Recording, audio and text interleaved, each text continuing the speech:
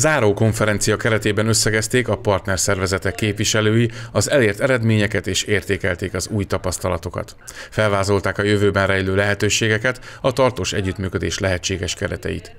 A horvát határ két oldalán élő kisebbségeket összekötő rendezvények sikereiről kérdeztük Blazsetin István főszervezőt, a Pécsi Horvát Önkormányzat elnökét. A projektnek a célja igazából az volt, hogy a két országban élő nemzetiség, tehát a magyarországi horvátok, illetve a horvátországi magyarok milyen módon tudnak bekapcsolódni és hozzájárulni ahhoz, hogy az idegenforgalmi nevezetességeket minél többen látogassák meg a határ mindkét oldalán.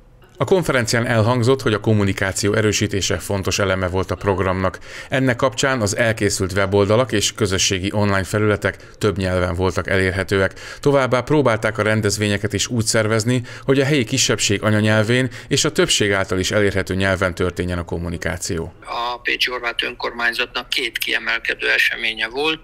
Az egyik az Országos Horvát Kolbász Fesztivál, a másik pedig a, a, a Horvát Karácsonyi Koncert a Kodály Központban, és mind a kettő e, tavaly e, került megrendezésre. A hónap végén lezáruló projekt egyik fő hozadéka a kisebbségi közösségek nyitása. Így a szakemberek szerint a következő években a többség számára elérhetőbbé válhatnak a magyarországi horvát, valamint a horvátországi magyar rendezvények.